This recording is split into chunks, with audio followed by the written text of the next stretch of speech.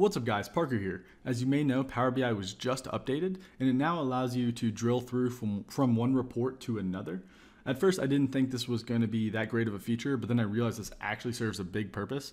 Uh, it'll allow you to kind of set up a little bit more security around your reporting. So for example, imagine I have this summary report. So it just shows high level statistics of this data. So basically my revenue and budget uh, summarized based on product line or summarized based on product type, but it's not going to show you that detailed data. Let's say I also have another report, this called uh, this detail report, and it does show me that detailed data. So now it's showing each uh, specific order line. So this is order number 33, how uh, what quantity was ordered, what the revenue was. So specific detailed data. Let's say as a manager, I want to be able to see this detailed data, but I don't want my employees to see this kind of level of detail. I only want them to see the summary report.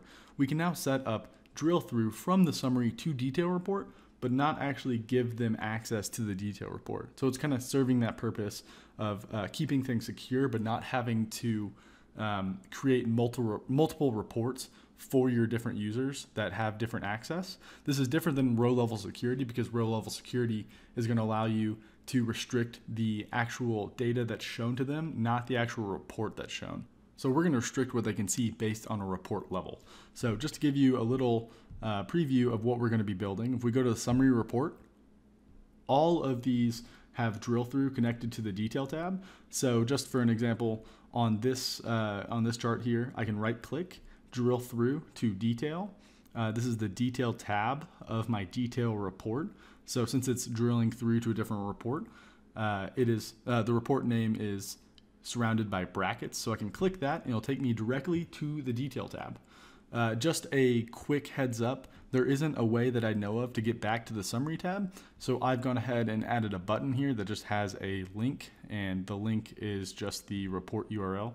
So it'll take you right back to the summary report and we can exit out of the detail report. So I'm going to show you how to set up that drill through from one report to the next and show you how it is used to kind of separate who should see what report. So I'm going to go to Power BI desktop. So I have my summary report open. I actually don't have to do anything on this report. I only need to open up the detail report and uh, switch on this little toggle right here. So if you click on the page, just click off of any of the visuals, you'll see cross report. We want to toggle that on and then that'll add uh, that'll allow us to add as many items we want to our drill through uh, drill through well. So it says add drill through fields here. So let's say we wanted product line, product type, uh, maybe retailer country, and retailer type. So now all of these are in our drill through filters. So we have four um, cat, uh, four fields in our drill through filters. We can publish this up. I'm not going to since I already have it there. The only other thing you have to do to set up that cross report filtering is going to your report itself, our summarized report now, so our parent report. And under the settings here, uh, if you scroll down, there's cross report drill through. By default, this is turned off, so I had to turn mine on. Go ahead and save.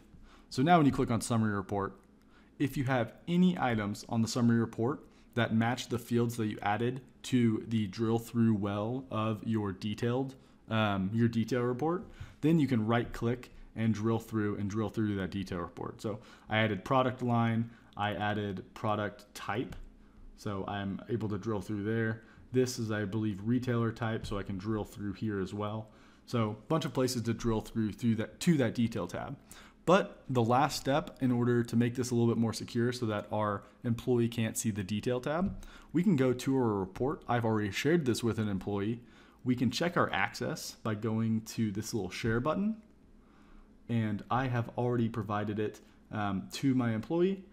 But if that employee didn't have access, we can share just by adding that employee here, giving them access uh, to read that report. But we don't do so with the detail report. So when we click share, you see that I have not provided access to that employee. So I'm the only one who can actually see this report. So I'm gonna go ahead and log in with um, that employee's credentials so that you can see what they would see.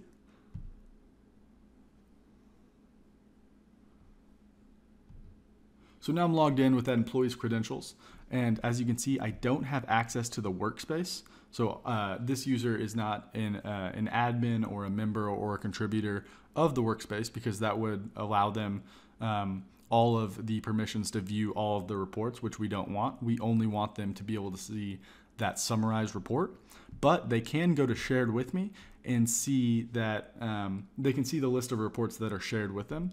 So in the summary report, it's the exact same summary report, but you'll notice when you right click, you aren't able to drill through. So they don't have access to that detail tab and they're not able to drill through from the summary tab to the detail tab. So that effectively separates users that should see the summarized data and the detailed data or just users that should see the summarized data. And this is important because now we don't have to create multiple multiple reports uh, that cover the same kind of topics to share or to um, divide between the users. Originally, what I'd have to do is create a summarized report uh, for just the users that are supposed to see summarized data. And then you have to create another report that has summarized and detailed data if you want to have that drill through functionality.